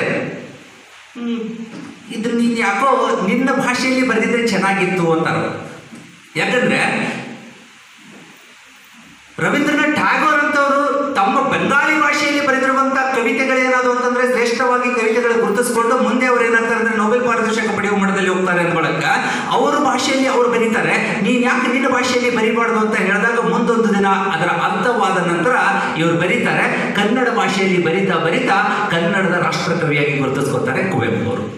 ಕುವೆಂಪು ಅವರನ್ನ ನಾವು ಯಾಕೆ ಬಹಳ ಇಷ್ಟಪಡ್ತೀವಿ ಅಂತಂದ್ರೆ, ನಾನು ಇವ್ರು ಹೇಳಿದ್ರು ಕಾಂತೋಣ್ಣರು, ಇವತ್ತು ನೀವೇನು ಈ ಉಪನ್ಯಾಸ ಕೊಡ್ತಾ ಇದ್ದೀರಿ? ಯಾರ ಸ್ಮರಣಾರ್ಥವಾಗಿ ಕೊಡ್ತಾ ಇದ್ದೀರಿ? ಅವರು ಕೂಡ ಏನಂತಂದ್ರೆ, ಕುವೆಂಪು ಅವರನ್ನ ಇಡಿಯಾಗಿ ಪ್ರೀತಿಸಿದವರು, ಇಡಿಯಾಗಿ ಭಕ್ತಿಯಿಂದ ಅವರನ್ನ ಭಜಿಸಿದವರು ಮನೆಯಲ್ಲಿ. ಅವರ ಚಿತಾಭಸ್ಮವನ್ನಿಟ್ಟು ಪೂಜಿಸುವಂತ ಮಹಾನ್ ವ್ಯಕ್ತಿ ಅವರು, ಅವರ ಕುರಿತಾಗಿ ಅವರ ಸ್ಮರಣಾರ್ಥವಾಗಿ ಕಾರ್ಯಕ್ರಮದಲ್ಲಿ ನೀವು ಮಾತಾಡ್ತಾ ಇದ್ದೀರಿ ಅಂತ ಎಷ್ಟು ಖುಷಿ ಅನ್ಸುತ್ತೆ ಗೊತ್ತಾ? ಯಾಕಂದ್ರೆ, ಸಾಮಾನ್ಯ ಜನರ ಸಮಸ್ಯೆಗಳಿಗೆ ಧ್ವನಿಯಾಗಿರುವಂತ ಕುವೆಂಪು ಅತಿ ಹೆಚ್ಚು ಯಾವುದಕ್ಕಾಗಿ ಆದ್ಯತೆ ಕೊಡ್ತಾರೆ ಅಂತಂದ್ರೆ ಜನರ ನೋವುಗಳಿಗೆ ಯಾರು ಯಾರಿಂದ ತಿರಸ್ಕಾರವಾಗಿ ಹೊರ ಬಿದ್ದಿದಾರಲ್ಲ ಅವರಿಗಾಗಿ. ಅವತ್ತು ಒಂದು ಜಲಗಾರ ಅನ್ನುವಂಥದ್ದು ಒಂದು ನಾಟಕ ನೋಡಿ ನೀವು. ಸಾವಿಗೆ ನಾ ಹೆದರಂಗಿಲ್ಲ. ಸಾವಿಗೆ ನಾ ಹೆದರಂಗಿಲ್ಲ, ನಾ ಇರೋ ತನಕ ಅದು ನನ್ನ ಎದುರಿಗೆ ಬರಂಗಿಲ್ಲ. ನೋಡ್ರಿ ಎಷ್ಟು ಚಂದಿದೆ ಸಾವಿಗೆ ನಾ ಹೆದರಂಗಿಲ್ಲ, ನಾ ಇರೋ ತನಕ ಅದು ನನ್ನ ಎದುರಿಗೆ ಬರಂಗಿಲ್ಲ, ಅದು ಬಂದ್ರೆ ನಾನೇ ಇರಂಗಿಲ್ಲ. ಸಾವು ಎಷ್ಟು? ನಾವು ಅಂತೀವಿ, ಸಾವು ಅಂದ್ರೆ ಏನು ಅಂತಂದ್ರೆ ಬಹಳ ದೊಡ್ಡ ಕಲ್ಪನೆ ಕೊಟ್ಟು ವೇದಾಂತಗಳನ್ನೆಲ್ಲ ಓದಿ ನಾವು ತಿಳ್ಕೊಳಕ್ ಹೋಗ್ತೀವಿ. ಸಿಂಪಲ್ ಅವ್ರು ಹೇಳೋದು, ಸಾವು ಅಂದ್ರೆ ನಾ ಹೆದರಂಗಿಲ್ಲ, ನಾ ಇದ್ದಾಗ ಹೆದರಿ ಬರಂಗಿಲ್ಲ, ಬಂದ್ರೆ ನಾನೇ ಇರಂಗಿಲ್ಲ ಸಾವು ಅಂದ್ರೆ ಇಟ್ಟೆ, ಇದಕ್ಕಿಂತ ಹೆಚ್ಚಿಗೆ ಏನು ಇಲ್ಲ ಅಂತ. ಎಷ್ಟು ಶಬ್ದಗಳಲ್ಲಿ ಆಟ ಆಡ್ತಾರಲ್ಲ. ಈ ಶಬ್ದಗಳಲ್ಲಿ ಆಟ ಆಡುವಂತ ವ್ಯಕ್ತಿ ಅವ್ರಿಗೆ ಕೇಳ್ತಾರೆ ಒಬ್ರು ಬಂದು, ಅಜ್ಜ ಅಜ್ಜ, ಒಬ್ಬ ಒಳ್ಳೆ ಕವಿತೆ, ಕವಿ ಆಗ್ಬೇಕಾದ್ರೆ ಒಬ್ಬ ಹೆಣ್ಮಗಳು ಕೇಳ್ತಾಳೆ ಅಜ್ಜ, ನಾನೊಬ್ಬ ಒಳ್ಳೆ ಕವಿ ಆಗಬೇಕಾದ್ರೆ ಎಷ್ಟು ಕವಿತೆ ಬರೀಬೇಕು ಅಂತ ಕೇಳ್ತಾರೆ ನಾನೊಬ್ಬ ಕವಿ ಆಗ್ಬೇಕಾದ್ರೆ ಎಷ್ಟು ಕವಿತೆ ಬರೀಬೇಕು? ಅಜ್ಜ ವಾಪಸ್ ಕೇಳ್ತಾನ ಯಾವ ತಾಯಿ ಆಗಬೇಕಂದ್ರೆ ಎಷ್ಟು ಮಕ್ಕಳನ್ನ ಹಡಿಬೇಕು ಅಂತ. ನೋಡ್ರಿ, ಅವ್ರ ಮಾತಿನ ಶೈಲಿ, ಕವಿ ಆಗ್ಬೇಕಾದ್ರೆ ಎಷ್ಟು ಕವಿತೆ ಬರಿಬೇಕು ಅಂತ ಕೇಳಿದ್ರೆ, ತಾಯಿ ಆಗ್ಬೇಕಂದ್ರೆ ಎಷ್ಟು ಮಕ್ಕಳು ಹಿಡಿಬೇಕು ಅಂತ ಹೊಳಿ ಕೇಳ್ತಾರ. ಒಂದು ಮಗನ ಹಿಡಿದ್ರೆ ಸಾಕು, ಹಂಗೆ ಒಂದು ಕವಿತೆ ಬರೆದ್ರು ಸಾಕು, ನೀ ಕವಿ ಆಗ್ತಿ ಅಂತ ಹೇಳ್ತಾರ. ಹೇಳಿ ಮುಂದುವರೆದು ಹೇಳ್ತಿ, ಬರಿ ಹೇಳ್ತಾರ ಅವರು. ಎಷ್ಟು ಬರಿಬೇಕು ಅಂದ್ರೆ ಸಾವಿರದ ಒಂದು ಕವಿತೆ ಬರಿ, ಅಂದ್ರೆ ನೀನೊಬ್ಬ ಕವಿ ಆಗ್ತಿ. ತಲೆ ಗಿಮ್ಮಂತಕಿ. ಸಾವಿರದ ಒಂದು ಕವಿತೆ ಬರಿಬೇಕಂತ. ನಾವು ಒಂದು ಬರಿಬೇಕಂದ್ರೆ ಜಿಗಿದಾಡಿ ಹೋಗ್ತೀವಿ. ಹಾ? ಈಗಿನ ಕವಿತೆಗಳಂತೂ ನೋಡಿದ್ದೀನಿ. ಆಗಲೇ ಶಾಸಕರು ಮಾತಾಡ್ತಿರ್ಬೇಕಾದ್ರೆ ಯುವ ಸಾಹಿತಿಗಳ ಬಗ್ಗೆ ಹೇಳಿದ್ರು ಇವತ್ತಿನ ಯುವ ಸಾಹಿತಿಗಳು ಭಾಳ ಜನರು ನೋಡಿಬಿಟ್ಟಿದ್ದೀನಿ ನಾನು. ನನಗೆ ನಿಜಕ್ಕೂ ಯುವ ಸಾಹಿತಿಗಳಂತಂದ್ರೆ ನನ್ನ ಕಣ್ಣ ನೀರು ಬಂದ್ಬಿಡ್ತಾವ ಯಾಕ? ಕನ್ನಡ ಸಾಹಿತ್ಯದ ದುರಂತ ಸಾಹಿತಿಗಳೆಲ್ಲ ಇವತ್ತಿನ ಯುವ ಸಾಹಿತಿಗಳಾಗಿದ್ದಾರೆ ಭಾಳ ಜನ. ಇಪ್ಪತ್ತೊಂದನೇ ಶತಮಾನದಲ್ಲಿ ಅದರಲ್ಲಿ ಕೂಡ ಎರಡ್ ಸಾವಿರದ ಇಪ್ಪತ್ತೊಂದು, ಇಪ್ಪತ್ತೆರಡರಲ್ಲಿ ಅತ್ಯಂತ ದೌರ್ಜನ್ಯಕ್ಕೆ ಒಳಗಾಗಿರುವಂಥ ಪದ ಯಾವುದಾದ್ರೂ ಇದೆ ಅದು ಸಾಹಿತ್ಯ ಅನ್ನೋದು ಏನು ಅವ್ರ ಕವಿತೆಗಳು ಎಷ್ಟು ಚೆನ್ನಾಗಿರ್ತಾವೆ ನಿಮ್ಗೆ ಗೊತ್ತಿಲ್ಲ? ವೇಶ್ಯ ಒಂದ್ ಕಡೆ ಅವಳ ಮನಸ್ಸು ಇನ್ನೊಬ್ಬನ ಮೇಲಿತ್ತು, ಯಾರ ಮೇಲಿತ್ತಪ್ಪ ಅಂತಂದ್ರೆ ಹುಬ್ಬಳ್ಳಿಯಲ್ಲಿ ಬರ್ತಾ ಇದ್ದಂತ ಶಟ್ರು ಹುಡುಗನ ಮೇಲಿತ್ತತ್ತು ಶಟ್ರು ಹುಡುಗ ಪ್ರತಿ ಸರ್ತಿ ಹುಬ್ಳಿಗೆ ಬಂದಾಗ ಒಮ್ಮೆ ಆಕೆಗೆ ಭೇಟಿಯಾಗಿ ಓದಿದ್ನಂತ ಒಂದು ಬರಲಿಲ್ಲ ಅನ್ನೋ ಕಾರಣಕ್ಕಾಗಿ ಅದನ್ನು ಕಲ್ಪನೆ ಇಟ್ಕೊಂಡು ಇವ್ರು ಬರೀತಾರೆ. ಇನ್ನು ಯಾಕೆ ಬರಲಿಲ್ಲವ ಹುಬ್ಬಳ್ಳಿಯವ? ವಾರದಾಗ ಮೂರು ಸರ್ತಿ ಬಂದು ಹೋಗವ. ಬಾರಿ ಜರದ ವಾರಿದ ಮಾಲ ಸುತ್ತಿಕೊಂಡವ. ತುಂಬು ಮೀಸಿ ತೀಡಿಕೊಂಡ ಹುಬ್ಬ ಹರಸವ. ಇನ್ನು ಯಾಕೆ ಬರಲಿಲ್ಲವ ಹುಬ್ಬಳ್ಳಿಯವ? ಚಹಾದ ಜೋಡಿ ಚೂಡಾದಂಗ ನೀ ನನಗಂದವ ನಿಮ್ಗೆ ಗೊತ್ತೈತಿ ಚಹಾ ಇತ್ತಪ್ಪ ಅಂದ್ರೆ ಚೂಡ ಇರಬೇಕು, ಚೂಡ ಇದ್ರೆ ಚಹಾ ಇರ್ಬೇಕು, ಅದಕ್ಕೊಂದು ಕಾಂಬಿನೇಷನ್ ಕರೆಕ್ಟ್ ಹೊಂದಿರ್ತೈತಿ. ಹಂಗೆ ಚಹಾದ ಜೋಡಿ ಚೂಡಾದಂಗೆ ನೀ ನನಗಂದವ ಚೌಡಿ ಎಲ್ಲ ನೀ ಚೂಡಾಮಣಿ ಅಂತ ರಮೇಶಿ ಬಂದವ. ಹಿಡಿ ಹಿಡಿಲೇ ರೊಕ್ಕ ತೆಗೆದು ಹಿಡಿ ಹಿಡಿ ಅನ್ನವ. ಕರೆ ಅಂತ ಕೈ ಮಾಡಿದ್ರೆ ಹಿಡಿದು ಬಿಡವ. ಇನ್ನು ಯಾಕೆ ಹುಬ್ಬಳ್ಳಿ ಅವ. ವಾರದಾಗ ಮೂರು ಸರ್ತಿ ಬಂದು ಹೋಗವ ಎಷ್ಟು ಚಂದ ಬರೀತಾರೆ ನೋಡ್ರಿ ಸಾಲುಗಳನ್ನು. ಇದು ಜನಪದ ಸಾಹಿತ್ಯವನ್ನು ಇಟ್ಕೊಂಡು ಮಾಡಿರುವಂಥದ್ದು. ಈ ಜನಪದ ಸಾಹಿತ್ಯವನ್ನು ಇಟ್ಕೊಂಡು ಮಾಡಿದಂಥ ಅವರು ತನ್ನ ಗುರು ಯಾರನ್ನ ಎ ಕೂಡ ಅವನ ಗುರು. ಅಂದರೆ ಇಂಗ್ಲಿಷ್ ಲೇಖಕ ಎ ಕೂಡ ಗುರು ಅಂತ ಕರಿತಿದ್ರು. ಆಮೇಲೆ ರವೀಂದ್ರನಾಥ್ ಟ್ಯಾಗೋರ್ ಅವ್ರನ್ನ ಗುರು ಅಂತ ಕರಿತಿದ್ರು. ಹಿಂಗೆ ಗುರು ಅಂತ ಕರಿತಾ ಕರಿತಾ ಅವ್ರ ಕುರಿತಾಗಿನೂ ಬರೀತಾರೆ, ಎಷ್ಟು ಅದ್ಭುತ ಸಾಲಗಳನ್ನು ಕಟ್ಟಿಕೊಟ್ರು ಅಂತಂದ್ರೆ ದುಡಿದು ಬೇಸತ್ತಾಗ, ನುಡಿ ದುಡಿದು ಸತ್ತಾಗ, ನುಡಿದು ಬೇಸತ್ತಾಗ, ದುಡಿ ದುಡಿದು ಸತ್ತಾಗ, ಜಗಕ್ಕೆ ಹಿಗ್ಗಿನ ಹಾಡ ನೀಡವ ನಿನ್ನಂಗ ಆಡಾಕ ನಿನ್ನಂಗ ಆಡಾಕ ಪಡೆದು ಬಂದಿರಬೇಕು ಗುರುದೇವ. ಹಂಗೆ ದರಾ ಬೇಂದ್ರೆ ಅವಂಗ ಬರಿಬೇಕು ದರಾ ಬೇಂದ್ರೆ ನಾವು ಮಾತಾಡಬೇಕು ಅಂತಂದ್ರೆ ಪಡ್ಕೊಂಡು ಬಂದಿರಬೇಕು ಅಂತ ಹೇಳಿ ಕೊನೆಯ ಮಾತನ್ನ ನಿಮ್ಮ ಎದುರಿಗೆ ಹೇಳ್ತೀನಿ. ಇಷ್ಟೆಲ್ಲ ನಾವು ದರಾ ಬೇಂದ್ರೆ ಅವ್ರ ಬಗ್ಗೆ ಕೇಳಿದ್ವಲ್ಲ, ಈ ಎಲ್ಲ ಕವಿತೆಗಳನ್ನ ಮೀರಿಸುವಂತ ಎರಡು ಕವಿತೆಗಳನ್ನ ನಿಮ್ಮ ಎದುರಿಗೆ ಹೇಳಲೇಬೇಕು. ಒಂದು ಕವಿತೆ ನೀವು ಕೇಳಿದಿರಿ ಅದು ಪಿಕ್ಚರ್ ಒಳಗೆ ಬಳಕೆ ಆಗೈತಿ. ನೀ ಹಿಂಗ ನೋಡಬೇಡ ನನ್ನ, ನೀ ಹಿಂಗ ನೋಡಿದರೆ ನನ್ನ, ತಿರುಗಿ ನಾ ಹ್ಯಾಂಗ ನೋಡಲಿ ನಿನ್ನ. ಬಹಳ ಮಂದಿ ಇದನ್ನ ಪ್ರೇಮ ಕವಿತೆ ಅಂತ ತಿಳ್ಕೊಂಡ್ಬಿಟ್ಟಿದ್ದಾರೆ ಎಷ್ಟೋ ಮಂದಿ. ಒಬ್ಬ ಹುಡುಗ, ಎಷ್ಟೋ ಮಂದಿ ಹುಡುಗರು, ಹುಡುಗಿಯರಿಗೆ ಏನಪ್ಪ ಅಂತಾರೆ? ನೀ ಹಿಂಗ ನೋಡಬೇಡ ನನ್ನ, ನೀ ಹಿಂಗ ನೋಡಿದ್ರೆ ನನ್ನ ತಿರುಗಿ, ನಾ ಹ್ಯಾಂಗ ನೋಡ್ಲಿಲ್ಲೇ? ತಪ್ಪಿಗೆ ಜೈಲಿಗೆ ಹೋಗ್ತಾರ. ಮುಂದೆ ಅವ್ರನ್ನ ನಜರ್ ಕೈದಿಯಾಗಿ ಹೊರಗಡೆ ಬಿಡ್ತಾರೆ. ನಜರ್ ಕೈದಿ. ಎಷ್ಟು ರೋಚಕ ಇದೆ ಕತೆ ಅಂದ್ರೆ, ನಜರ್ ಕೈದಿ ಅಂತೇಳಿ. ಅಂದ್ರೆ, ಇವ್ರು ಮುಂದ್ ಮುಂದೆ ಹೋಗ್ತಾರೆ, ಇವ್ರ ಹಿಂದೆ ಒಬ್ಬ ಪೊಲೀಸ್ ಬೆನ್ನತ್ತಿರ್ತಾನೆ ಇವ್ರು ಎಲ್ಲಿ ಹೋದ್ರು ಇವರಿಂದ ಪೊಲೀಸ್ ಇರಲೇಬೇಕು. ಅದು ನಜರ್ ಕೈದಿ. ಅವ್ರ ನಜರ್ ಒಳಗೆ ಕೈದಿ ಇರಬೇಕು ಅಂತ. ಏನಂತಂದ್ರೆ, ಇವರಿಗೆ ಲೆಟರ್ ಬರೆದು ಕೊಡು ಅಂತ ಹೇಳ್ತಾರೆ. ನಾನು ಬರೆದಿದ್ದು ತಪ್ಪಾಯ್ತು. ಅದಕ್ಕೋಸ್ಕರ ನನ್ನ ಏನಪ್ಪಾ ಅಂದ್ರೆ ಬಿಡುಗಡೆಗೊಳಿಸ್ಬೇಕು. ಆದರೆ ಇವ್ರು ಹೇಳ್ತಾರೆ ಬರ್ದವ್ ನಾ ಅಲ್ಲ ಅಂದ್ರು. ದರ ಬೇಂದ್ರೆ ಬರ್ದೇ ಇಲ್ಲ ಇದನ್ನು. ಮತ್ತು ಬರ್ದವ್ರು ಯಾರು? ಇದನ್ನ ಅಂಬಿಕಾ ತನಯದತ್ತ ಬರೆದನು ದರಾ ಬೇಂದ್ರೆಯವರ ಕಾವ್ಯನಾಮ ಏನು? ಅಂಬಿಕಾ ತನಯದತ್ತ. ಅಂಬಿಕೆ ಅಂದ್ರೆ ಅವರ ತಾಯಿ ತನಯ ಅಂದ್ರೆ ಮಗ, ಅವ್ರ ಮಗ ದತ್ತ. ಅಂಬಿಕಾ ತನಯದತ್ತ ದತ್ತ ಮತ್ತು ನೀ ಅಲ್ಲ ನಾ ಬರೆದಿಲ್ಲ, ನಾ ದರಾ ಬೇಂದ್ರೆ ನಾನು. ಮತ್ತೆ ಅಂಬಿಕಾ ತನಯದತ್ತ ದತ್ತ ಎಲ್ಲಿ? ಅವ ಯಾವಾಗ ಬರ್ತಾನೋ ಯಾವಾಗ ಬರ್ತಾನ ಗೊತ್ತಿಲ್ಲ. ಮತ್ತೆ ಯಾವಾಗ ಬಂದಾಗ ಬರ್ದು ಕೊಡ್ತಾನೆ ಬಿಡು. ಅದಕ್ಕೆ ಇವ್ನು ನಜರ್ ಕೈದಿ ಬೆನ್ನತ್ತದ ಇವ. ಏನು? ಅವನಿಗೆ ಏನು ಹೇಳಿರ್ತಾರೆ? ಯಾವಾಗ ಇವನು ಮೈಯಾಗ ಅಂಬಿಕಾಂತನ ಇದಂತ ಬರ್ತಾನೆ ಅವ ಬರ್ಸ್ಬೋ ಇವ ತಿರುಪತಿ ಹೋದ, ಅವ ಬರಲೇ ಇಲ್ಲ ಕಡಿಗೂ ನೋಡ್ರಿ ಹೆಂಗಿದೆ ಈ ಶಬ್ದಗಳು. ಯಾಕಂದ್ರೆ ದರಾ ಬೇಂದ್ರೆ ಅವರು ಇಷ್ಟೆಲ್ಲ ಅದ್ಭುತವಾಗಿ ಬರೆಯೋದಕ್ಕೆ ಕಾರಣ ಏನಾಗಿತ್ತು ಅಂತಂದ್ರೆ ದರಾ ಬೇಂದ್ರೆ ಅವರ ಮೇಲೆ ಪ್ರಯೋಗ ಆಗಿರುವಂಥವು ಯಾವಿದ್ದು ಅಂತಂದ್ರೆ, ಜನಪದ ಸಾಹಿತ್ಯ ಪ್ರಯೋಗ ಆಗಿತ್ತು. ಜನಪದ ಸಾಹಿತ್ಯ ಅಂದ್ರೆ ನೀವು ಕಂಡುಕೊಂಡಿರುವಂತ ಬಂಗಾರ ಅಂತೇನೇನಲ್ಲ ಹಾ? ಕಲ್ಲ ಮೇಲೆ ಕಲ್ಲ ಇಟ್ಟು ಜಜ್ಜಿದ ಗಿಡತಿ ನುಗ್ಸಾಗುವಂಗ ಮನಸ್ಸು. ಅದೇ ನಮ್ಮ ಮನಸ್ಸಿನ ಚುಮಣಿ ಡೇಬ್ ಜಜ್ಜಾಕ? ಹಾ? ಇವೆಲ್ಲ ಜನಪದ ಸಾಹಿತ್ಯ.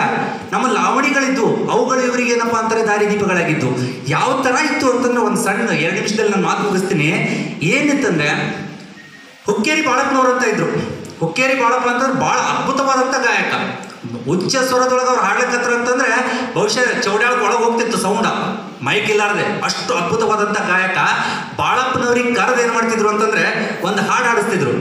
ಅದು ಬೆಟಗೇರಿ ಕೃಷ್ಣ ಶರ್ಮಾ ಬರೆದಿರುವಂಥ ನಿಮ್ಮ ಪ್ರಯತ್ನಗಳು ನಿಮ್ಮ ಚಿಂತನೆಗಳು ಸಾಗಲಿ ಅಂತ ಹೇಳಿ ನಾನು ಆಶಿಸಿ ಈ ಇಡೀ ಕಾರ್ಯಕ್ರಮದಲ್ಲಿ ಭಾಗವಹಿಸಿರ್ತಕ್ಕಂಥ ಎಲ್ಲ ಸಾಹಿತ್ಯ ಆಸಕ್ತಕರೇ ವೇದಿಕೆ ಮೇಲೆ ಉಪಸ್ಥಿತಕ್ಕಂಥ ರಾಜಕಾರಣಿಗಳು ರಾಜಕಾರಣವನ್ನು ಮಾಡಬಾರ್ದು ಈಗಿನ ನಿರ್ಮಾಣದಲ್ಲಿ. ಈ ಬದ್ಧತೆಯ ಕಮಿಟ್ಮೆಂಟ್ ಇಟ್ಕೊಂಡು ಬದುಕ್ತಕ್ಕಂಥ ವರ್ಗಕ್ಕೆ ಸೇರಿದವರು ಇತ್ತೀಚಿನ ಈ ವ್ಯವಸ್ಥೆಯಿಂದ ನಾವೆಲ್ಲ ಏನೋ ಮಾತಾಡಿದೆವು ನಾಳೆ ಹೈಲೈಟ್ ಆಗಿಬಿಡ್ತಾರೆ ಮೀಡಿಯಾದವ್ರಿಗೆ ನಾನು ರಿಕ್ವೆಸ್ಟ್ ಆದ್ರೆ ಆ ಸ್ಪ್ಯಾನಿಷ್ ಸ್ವತಂತ್ರ ಹೋರಾಟಕ್ಕಾಗಿ ಅವರು ಹೋರಾಡುವಂತ ಸಂದರ್ಭದೊಳಗೆ ಸತ್ತಂತಹ ಮೂರು ಜನ ಅವರಿಗೆ ನೇಣಿಗೆ ಹಾಕ್ತಿರ್ತಾರೆ. ನೇಣಿಗೆ ಹಾಕೋದು ನಾಳೆ ಅಂದ್ರೆ ಇವತ್ತಿನ ಏನಪ್ಪ ಅಂದ್ರೆ ದ ಲಾಸ್ಟ್ ಫೇರ್ವೆಲ್ ಅಂತ ಹೇಳ್ಬಿಟ್ಟು ಒಂದು ಕವಿತೆಯನ್ನು ಬರೀತಾರೆ. ಅದನ್ನ ಇಂಗ್ಲೀಷಿಗೆ ಒಬ್ಬರು ಟ್ರಾನ್ಸ್ಲೇಟ್ ಮಾಡಿದ್ರೆ ಆ ಇಂಗ್ಲೀಷ್ನಲ್ಲಿ ಇದ್ದಿದ್ದನ್ನು ಕನ್ನಡಕ್ಕೆ ಟ್ರಾನ್ಸ್ಲೇಟ್ ಮಾಡ್ತಾರೆ. ದರಾ ಬೇಂದ್ರೆ ಅವರು, ಏನು ಅದ್ಭುತ ಟ್ರಾನ್ಸ್ಲೇಟ್ ಇದೆ ಅಂತಂದ್ರೆ ಬಹುಶಃ ಇನ್ನು ಹತ್ತು ಶತಮಾನ ಎತ್ತಿದ್ರು ಕೂಡ ಅವರನ್ನು ಟ್ರಾನ್ಸ್ಲೇಟ್ ಮಾಡೋಕ್ಕೆ ಯಾವ ಕಡೆನೂ ಆಗಲ್ಲ. ಯಾಕಂದ್ರೆ ಇದು ಒರಿಜಿನಲ್ ಕವಿತೆನೇ ಏನೋ, ನನಗೆ ಗೊತ್ತಿದ್ದಿದ್ದಿಲ್ಲ, ಅದು ಬಹಳಷ್ಟು ದಿನ ಮೇಲೆ ಗೊತ್ತಾಗಿದೆ. ಭಾವಾರ್ಥ ಹೀಗಿದೆ ಅಂತೇಳಿ. ಬರೀ ಅವ್ರು ಏನಪ್ಪಾ ಅಂದ್ರೆ ಶಬ್ದಗಳನ್ನ ತರ್ಜುಮೆ ಮಾಡಿಲ್ಲ, ಭಾವಗಳನ್ನ ತರ್ಜುಮೆ ಮಾಡ್ತಾರೆ. ಏನು ಅದ್ಭುತ ಕವಿತೆ ಅಂತಂದ್ರೆ, ಆ ಹಾಡನ್ನ ನಾನು ನಿಮಗೆ ಹೇಳೋದಕ್ಕಿಂತ ಎರಡು ಲೈನ್ ನಾನು ಹಾಡ್ತೀನಿ, ಅಂದ್ರೆ ನಿಮ್ಗೆ ಅರ್ಥ ಆಗುತ್ತೆ. ನಾಳೆ ಬೆಳಿಗ್ಗೆ ಐತಿ ಮಹಾಮರಣ, ಶರಣಂತವ ನಮ್ಮ ಪಂಚಹರಣ. ನಾಳೆ ಬೆಳಿಗ್ಗೆ ಐತಿ ಮಹಾಮರಣ ಶರಣಂತವ ನಮ್ಮ ಪಂಚಹರಣ. ಶರಣಂತಾವ ನಮ್ಮ ಪಂಚಹರಣ. ಹಸನುಳದಾವ ನಿಮ್ಮಂತ ಕರಣ. ದೇವ ದೇವನು ಮಾಣನೆ ಕರುಣ. ನಾಳೆ ಹೊತ್ತ ಮೂಡಿ ಬಂದೈತಿ ಮರಣ. ಪಂಚ ಪಂಚ ಉಷ ಕಾಲ ಎಂತ ಮುರ್ದ ಬರಕಿಲ್ಲ. ಬಂದೈತಿ ನೋಡು ಎಂತ ಹಗಲ ಪಂಚ ಪಂಚ ಉಷಾ ಕಾಲ ಎಂತ ಮುರ್ದ ಬರಕಿಲ್ಲ, ಬಂದೈತಿ ನೋಡು ಎಂತ ಹಗಲ.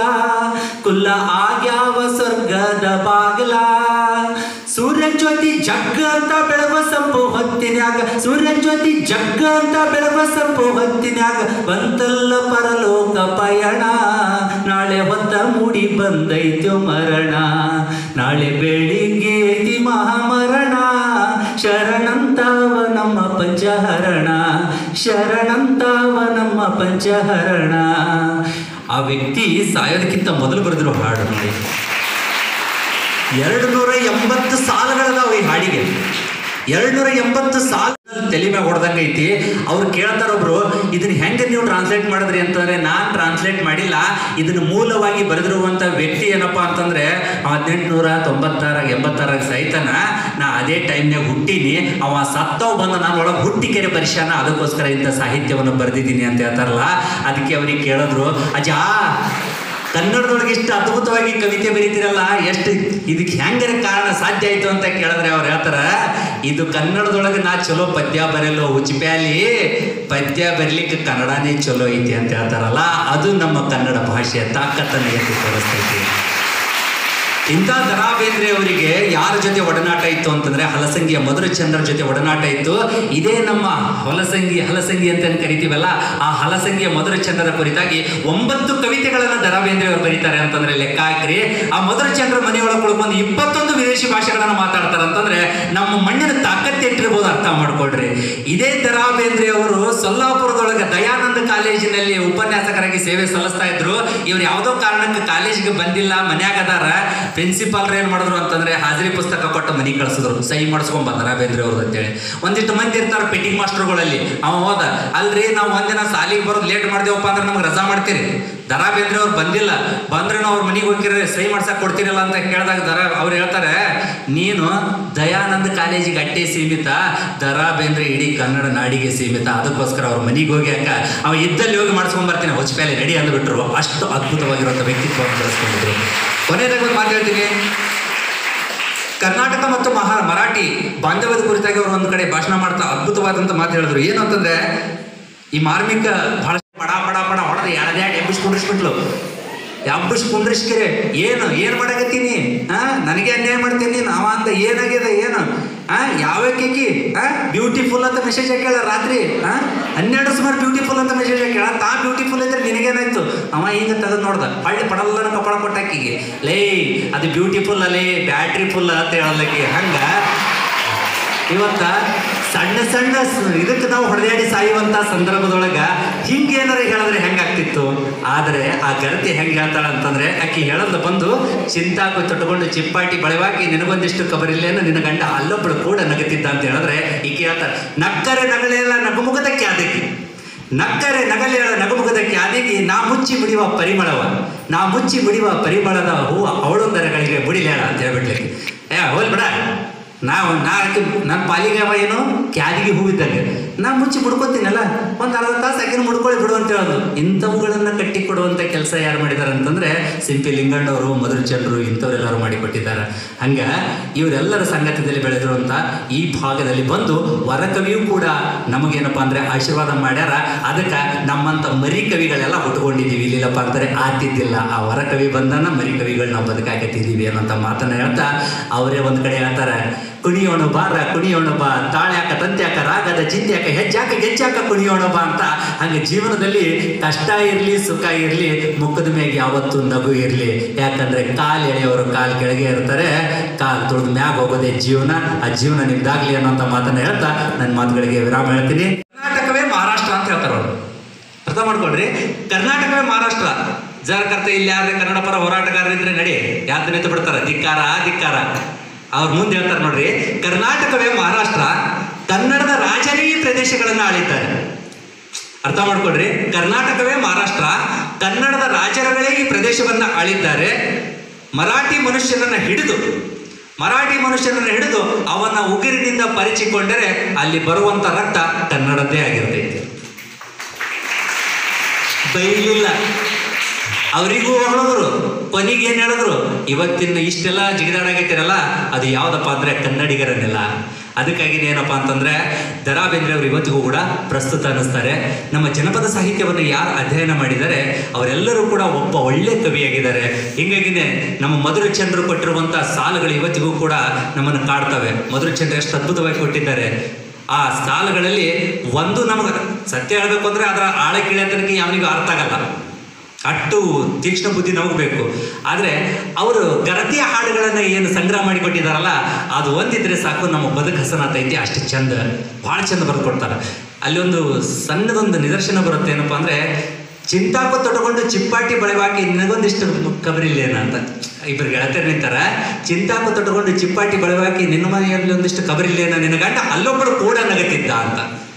ಚಿಂತಾಕು ಅಂತ ಏನಪ್ಪ ಅಂದ್ರೆ ಆಭರಣ ಇಲ್ಲಿ ಹಾಕೋತಿದ್ರಲ್ಲ, ಅದಕ್ಕೆ ಏನೋ ನೀವು ಲೋಲಕ ಗಿಲಕ ಏನೋ ಅಂತಿರ್ತಿರಲ್ಲ ಅಂಥದ್ದೇನೋ ಹಾಕೊಂಡು ಚಿಂತಾಕ ತೊಟ್ಕೊಂಡು ಚಿಪ್ಪಾಟಿ ಬೆಳೆ ಚಿಟ ಚಿಪ್ಪಾಟಿ ಬೆಳೆ ನಿಮಗೆಲ್ಲ ಗೊತ್ತೇ ಅದಲ್ಲ ಹಳ್ಳಿ ಒಳಗೆ ಚಿಂತಾಕ ತೊಟ್ಕೊಂಡು ಚಿಪ್ಪಾಟಿ ಬೆಳವಾಗಿ ನಿನಗೊಂದಿಷ್ಟು ಕಬರಿಲಿಲ್ಲ ನಿನ್ನ ರಾಯ ಅಲ್ಲೊಬ್ಬಳು ಕೂಡ ನಗದಿದ್ದ. ನಾ ಈಗಿನ ಹೆಣ್ಮಕ್ಳಾದ್ರೆ ಹೊಡೆದಾಡಿ ಸಾಯ್ತಾವ ಈಗಿನ ಹಾ? ಬರೀ ಗಂಡ ಹಿಂಗೆ ಯಾವಕ್ಕಿ ಕೂಡ ಮಾತಾಡಕತ್ತಾನಂತಂದ್ರೆ ಸುರುನೇ. ಅವತ್ತು ರಾತ್ರಿ ಗಂಡನ ಮೊಬೈಲ್ ಚಾರ್ಜಿಗೆ ಹಾಕಿ ಮಕ್ಕೊಂಡನ, ಮಕ್ಕೊಂಡ ರಾತ್ರಿ ಈಕಿ ಹನ್ನೆರಡುವರೆಗೆ ಒಂದಕ್ಕೆ ಎಚ್ಚರಾಗ್ಯದ ಈಗಿನ ಹೆಣ್ಮಕ್ಳು ಹೆಂಗದ? ಒಂದಕ್ಕೆ ಎಚ್ಚರಾಗ್ಯದ ಗಂಡನ ಮೊಬೈಲ್ ಹಿಂಗೆ ನೋಡ್ತಾಳ?